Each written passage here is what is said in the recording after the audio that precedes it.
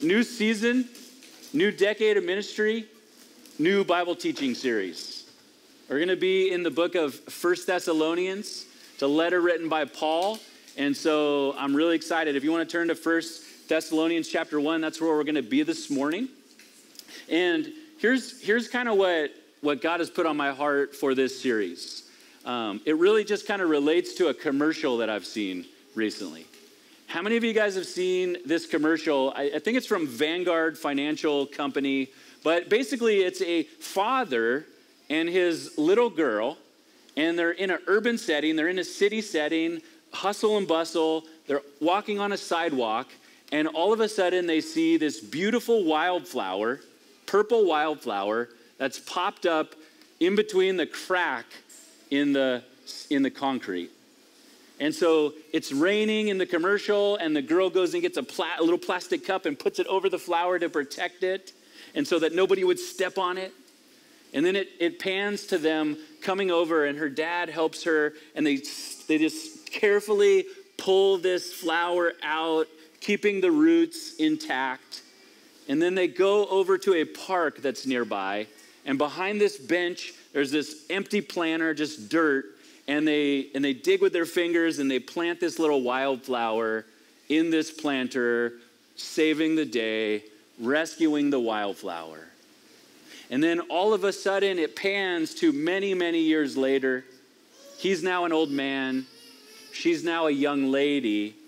And they're sitting on the bench. And wouldn't you know it, the whole planter is filled with purple wildflowers. It's a beautiful picture. I don't know how it relates to Vanguard Financial commercial, but it absolutely is a beautiful picture. And it's a beautiful picture of what Paul has experienced and why he's writing this letter to the Thessalonians. If you read in the book of Acts, the book of Acts is, comes right after the Gospels. The four Gospels tell us about Jesus' life while he was here, up until the point where he died, rose from the dead, and ascended. And then the book of Acts follows up what happened after that. How did the early church get started? And when we look in Acts 17, we see Paul going to Thessalonica and telling them about Jesus. And what he does is he plants this church. He tells people about Jesus. Some people are getting saved. And he plants this small church in Thessalonica. And then there's a bunch of persecution. And so Paul has to leave after about a month. And so he's left this church like this little wildflower. He's left this church and he can no longer tend to it. And then a while passes, and he, he, he, he says in a letter, I, I think about you often. I wonder about you, how you're doing. And then he sends his, his ministry partner, Timothy.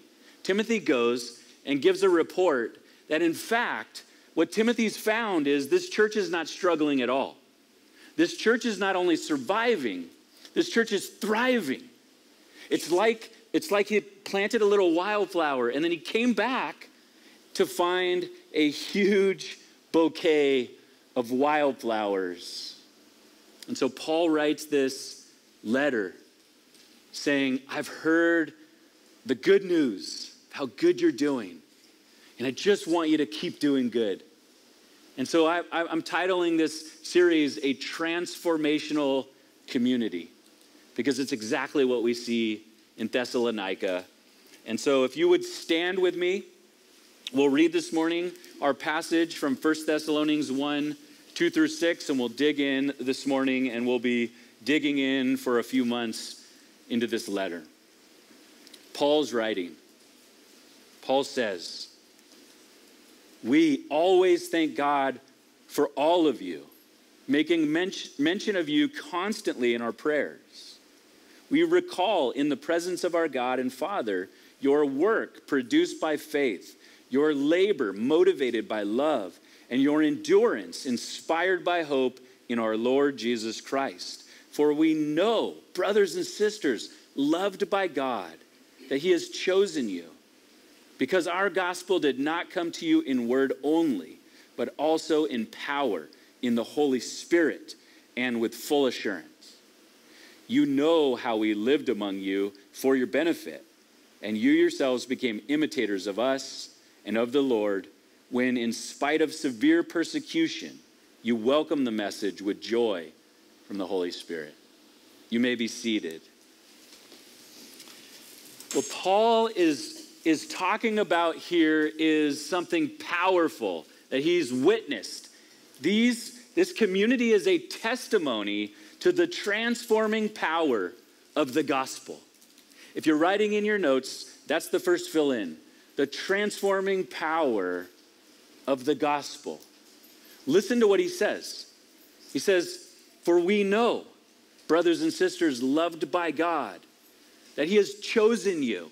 If you're a Bible nerd, when, when we hear this idea of chosen you, chosen ones, that, that, that should point us back to the Old Testament. That's God's people. What, what Paul is saying is look, you're loved by God. You are now God's people.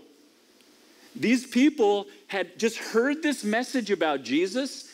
They were, they were either Jewish or they were what the Jewish people would have called pagan, and now they're Christians. Something radical has changed. He's like, You're now God's people. You weren't God's people before I got there. You're now God's people. You're, cho- you're chosen. He chose you. Because our gospel did not come to you in word only, but also in power, in the Holy Spirit, and with full assurance.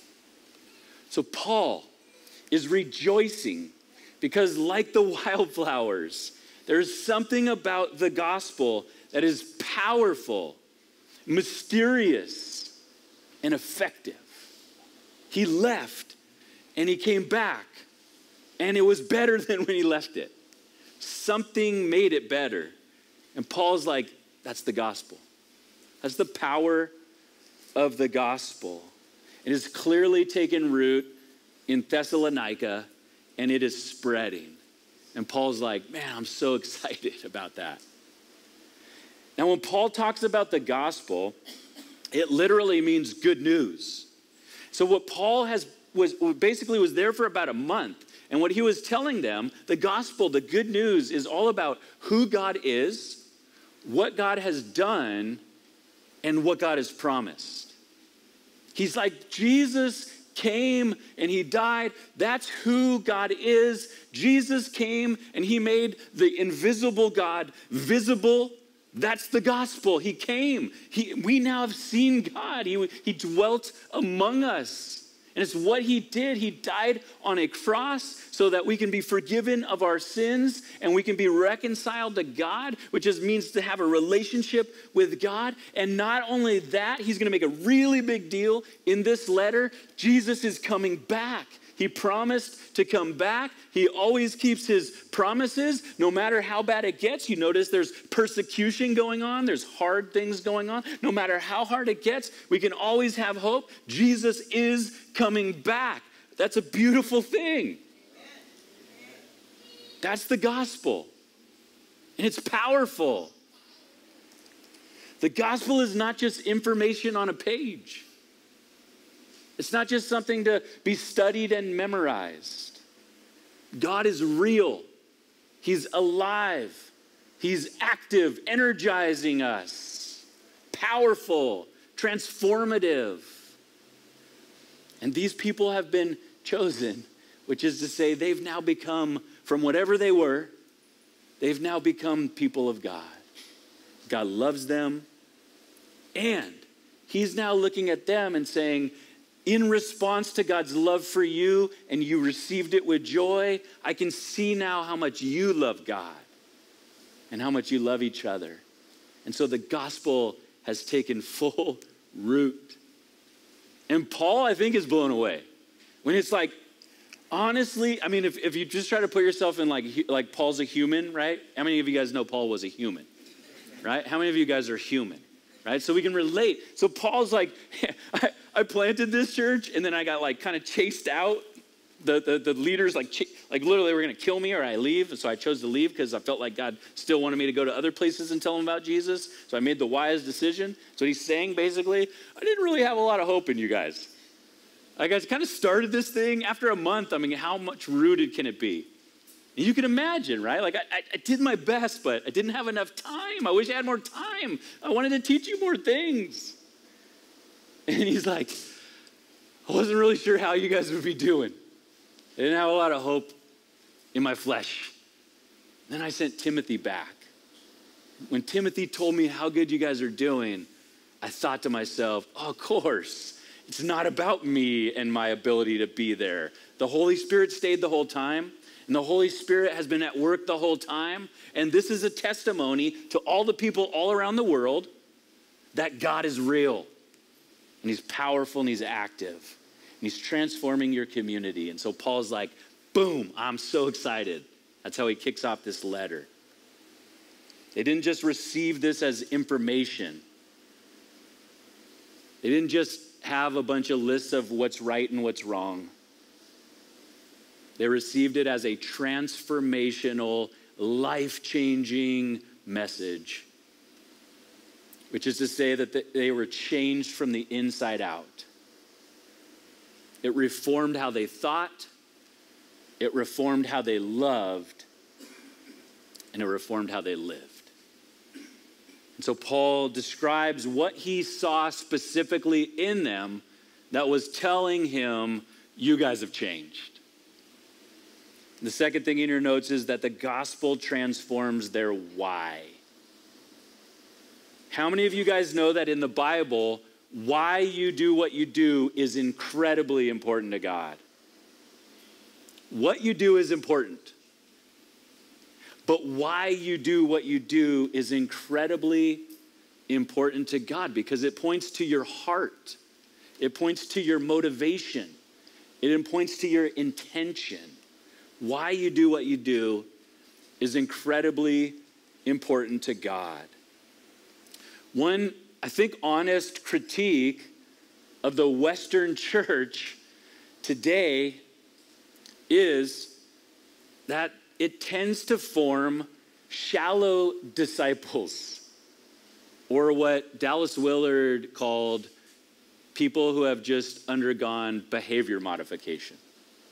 They've learned the right things to do, but under the surface, not a whole lot's changed. That's not what Paul is describing about this church. He literally says, This thing has changed you from the inside out. Your why has changed. Your what has changed, but your why has changed more importantly. And Paul recognizes some really winsome, deep transformation that has taken place in them. He says, we recall in the presence of our God and Father your work produced by faith, your labor motivated by love, and your endurance inspired by hope in our Lord Jesus Christ. A why that is transformed by the Spirit always looks like faith, hope, and love. We see that over and over again in the New Testament. These three words combined faith, hope, and love. It's exactly what Paul describes in them. Your work that was the what was the why? Oh, your faith. Your labor. Oh, what was the why? Oh, your love. Your endurance. Oh, but what was the why? Oh, your hope. Faith, hope, and love. Work produced by faith. Now, faith in the Bible is not just behavior modification, it's not just, oh, all of a sudden I believe the right things. Faith in the Bible is much more, has much more depth than that. Faith in the Bible is literally when we believe that following Jesus is totally worth it. And we, and we rearrange our life around that. To have faith in Jesus means I have decided to follow him, no turning back, no excuses. I mean, I'll fall down, I'll make mistakes, but then I'll get back up again, I'll keep going, right? Faith is what gets you back up again. Faith is what gets you up in the morning. Faith is what gets you to church when you don't feel like it. Faith is transformational. It's work produced by faith. There's a great saying and I think it's a true saying that we don't work to be saved. Amen? You don't have to do any work in order to be saved. but we are saved, so let's get to work. Paul here is interesting. Most of the time, Paul is, is, is noted for you're, you're not saved by works, you're saved by grace. Here he says, oh, but yeah, you started working because you have faith. Works here. Works, the way that he's using it here, which is important when we're reading the Bible. How does, how does this author use these words? These word works here is what we often call spiritual practices. The type of works he's talking about is what we often call spiritual practices. It's literally the simplicity of this. We gather weekly together. It's a, it's a practice that we do together because we're saved, because we have faith. It, it takes work. Growing in the knowledge of the Lord, like reading your Bible, going to Bible study, growing in your knowledge of the Lord, that's a practice. Praying. Praying is a practice, it's a work. Serving. Serving is a practice, it's a work. Giving. What you do with your money really reveals what your priorities are. Giving is a pra- it's a spiritual discipline, it's a practice. These are all the types of things that Paul is talking about. He's like, look, you guys had faith, you believed that Jesus was worth it, so you started exercising it. You started gathering together regularly, even though, you know, there was all these kids' birthday parties and all these sporting events and all these things, but you made this a priority and you started coming because you had faith and you believed that Jesus was worth it. And you believed that he was going to do something when you're together. He believed, we believe there's power in that. And so you started doing it. It was because you had faith. You believed that Jesus was worth it. And you started praying. You started studying the word. You started asking good questions. And you started, well, they probably didn't listen to podcasts, but we can. We have so much more ability than they did. We should be doing way better than they were. And so they have this faith. And it's prompting them to do work. And then he goes, and then your labor motivated by love. And the word labor here is like perseverance and continuing to do these things that he's talking about, even when it's hard or even when it's uncomfortable, even when you don't feel like it. It's labor. The church in the first century, the church in Thessalonica, in all the churches that Paul was witnessing, they had some enemies. There were enemies that were would, would, that he was worried about. Like, your faith is doing really good now, but I just worry about you a little bit because there's these things that could come and they could really throw you off. I've seen it a million times. That's what Paul's kind of, that's the heart of this letter.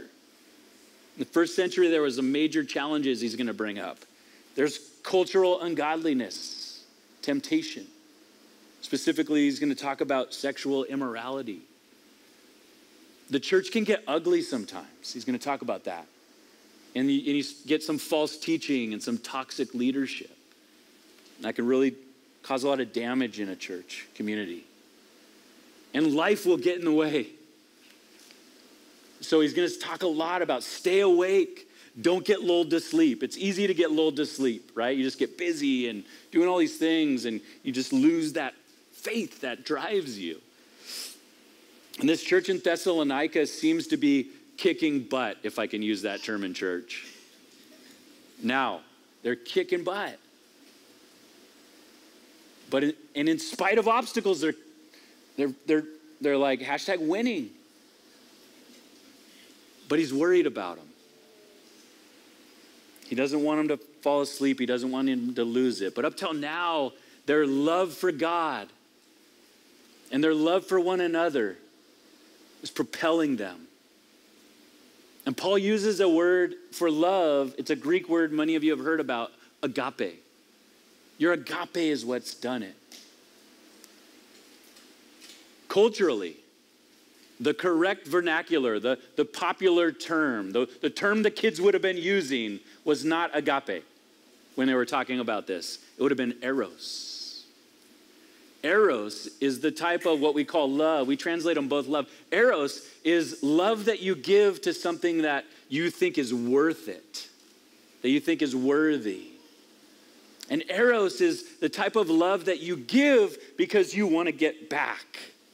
I'll give you I want back. It's social media love. It's social media love. I love your story. It makes me feel so good. Oh, I'm so jelly of you and all you're doing. Love to see that. I got all the feels. It's Eros.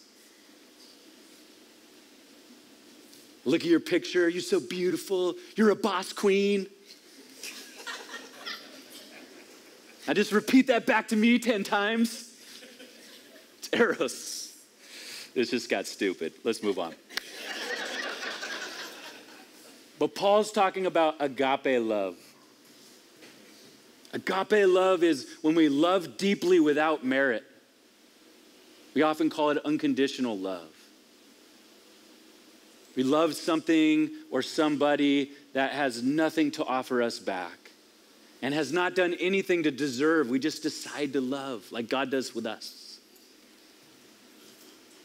And it's love for the benefit of others. Matter of fact, Paul says that. He goes, I didn't just come and preach the gospel to you, I shared my very life with you. We shared our life with you. We did life with you. We ate with you. We told stories. We listened to your stories. We did life together, and it was for your benefit. I didn't do that for me. I didn't do that because I needed friends. Paul had friends. I did that for you because I love you, because God loved me and He sent me to love you. I just wanted to do it really well. And you guys have started imitating me, he says. And so now you have this labor, and I see it. It's motivated by the same love that we brought to you, it's taking root.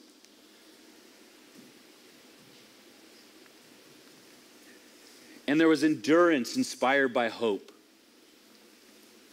Endurance that was inspired in hope in our Lord Jesus Christ. They believed that Jesus was coming back. When Jesus comes back, amen. We believe this, right? Amen. How many of you guys would give an amen to the fact that Jesus is coming back? Amen. How many of you guys would give an amen that when he comes back, he's going to right all the wrongs? Amen. Let's stop panicking, church. He's going to right all the wrongs. It's been written, it will happen. Stop panicking. Stop freaking out. Have hope.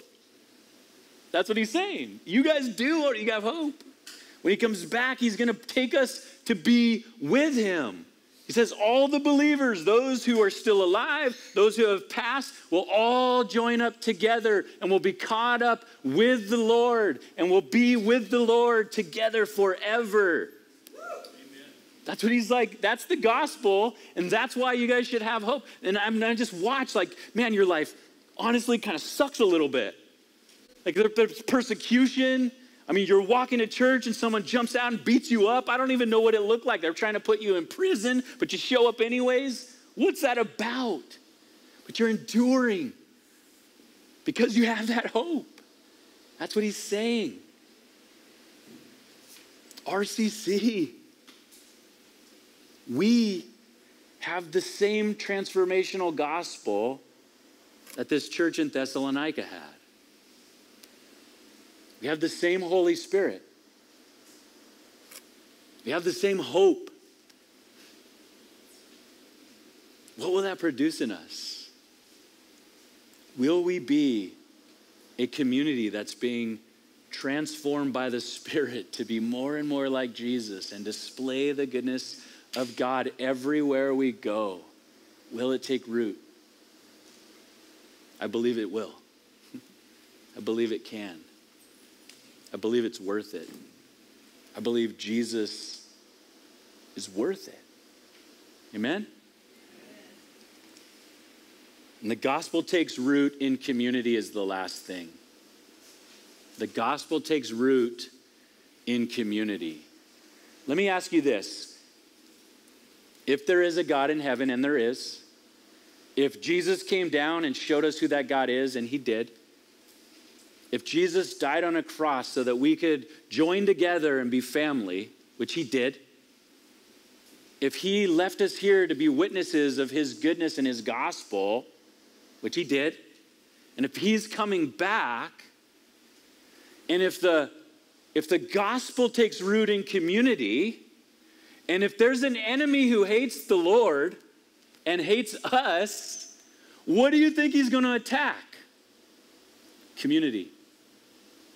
If I can just get them to not hang out together, to not show up, to not be one with one another, to not love one another, serve one another, if I could just get them to do that, then the gospel can't take root. I mean, it still can, but it's going to slow it down. It's not the way God intends it to be. The gospel takes root in community, and He goes, You know how we lived among you. We did life with you, and it was for your benefit. See that? And you yourselves became imitators of us and of the Lord when, in spite of severe persecution, you welcomed the message with joy from the Holy Spirit. It's, it's been noted that the church in America has become a transactional community, not a transformational community. And what that means, a transactional community is business terms. It's like a transaction. I come into your store, you treat me nice. I buy stuff, you can keep being a store right? It's consumer operated. The church in America, many have pointed out, and I, I just think it's true, and maybe it's sometimes true here even. It becomes this consumer thing. It's transactional. We, the staff or leaders, will give you what you want if you just will show up. We'll make, we'll make it real nice, right? All I want you to do is just show up, though, and affirm me. Right? It's transactional. The church in the West has become consumer driven, and it's in truly, I mean, the, the records show it's in decline. But do you know this? The church in Africa and the church in Asia and the church in Latin America is booming. It is. And do you know the difference? They, they do transformational church, they don't do transactional church. That's the difference. The gospel takes root in community. People who have decided to follow Jesus and have decided to bind together and make each other a priority. Make community a priority. Those churches are growing in ways that you wouldn't believe. And the youth culture in Africa and Asia and Latin America is leading the charge. When we look at today's youth, it's like, oh, do we have any hope? In Africa and Asia, it's like, they're like, they're taking over. They're making, they're putting everyone else to shame. What's the difference? They approach church way differently than we do. It's transformational. So what's the answer? How do we be how do we be a transformational community? Well, let's start with this. What Paul says, let's share our lives with one another. Let's show up. Let's be here for one another. Let's do haves and needs. Like, really, really do it, guys. Haves and needs. Commit to a group or a class. Put 10, put 10, a, put 10 a.m. Sunday on your calendar and tell all the other things that you already have plans. In seasons when you can give and serve and pour out, do so. In seasons when you need help, when you need healing, when you need rest, let us love you. It's not transactional, is what I'm saying. If you need, let us love you. If you have, help us love others. And we'll do it together. And let's be a community that's being transformed by the Spirit to live like Jesus and display the goodness of God everywhere we go. And when things get hard, and they will, and for many of us, they are, hold on to the gospel. Welcome the Holy Spirit.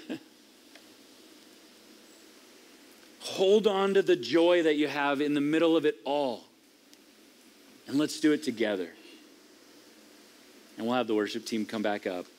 And we'll live together as people who have a great hope. So here's for our 10 year anniversary, you're welcome in advance. I'm going to close with a dad joke quality final exhortation. What I'm saying is, this is so dumb. I love it. Straight face. Don't mope because the world is falling apart. Live with hope because God has a plan to put it all back together.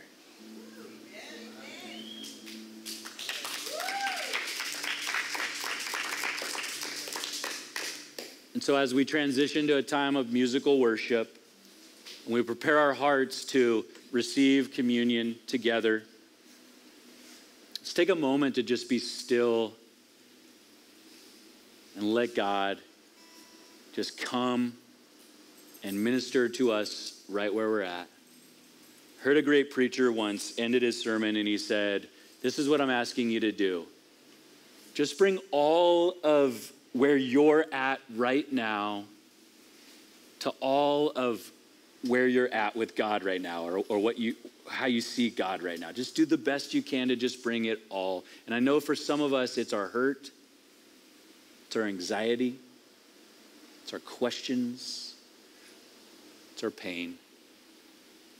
But let's just bring that right now to the Lord. And for others, it's joy. For many of us, it's a mix of all of those things. Just, just be real right, right now with God.